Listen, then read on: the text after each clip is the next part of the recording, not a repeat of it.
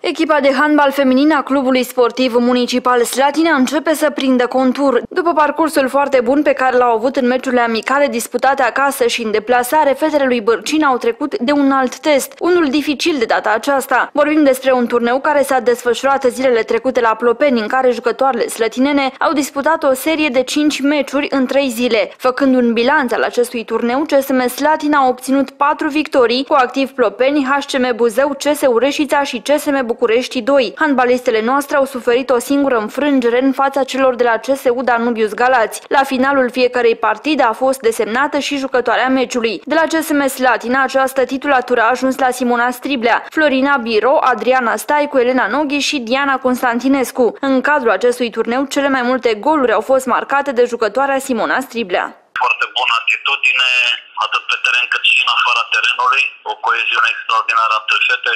Iar au fost uh, felicitate și apreciate de către toate echipele. Atunci când vin victorii, atunci când uh, totul merge bine, totul e frumos. Vedem ce urmează când începe campionatul. Turneul de la Plopene a adus și o accidentare în lotul celor de la CSM Slatina. Este vorba despre portarul Adriana Croitoru. Are o întindere la, la piciorul drept, cred că până miercuri când vom relua antrenamentele va fi aptă. Nu a jucat decât în primul joc primele 17 minute, atunci s-a centrat în minutul 17 la primul meci și de atunci nu a mai făcut nimic. Turneul Cupa de Toamnă de la Plopen s-a desfășurat în perioada 4-6 septembrie.